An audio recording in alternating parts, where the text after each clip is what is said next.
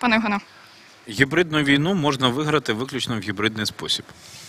В українських реаліях для того, щоб починати підготовку до перемоги в гібридній війні, Україні очевидно необхідна стратегія реінтеграції тимчасово втрачених територій Донбасу і Криму. Стратегія, яка зрозуміла не лише президенту, народним депутатам, міністрам, а максимально великій кількості людей, в якій кожна людина, яка цього хоче, може знайти свій шматочок роботи, в чому вона може докладатися.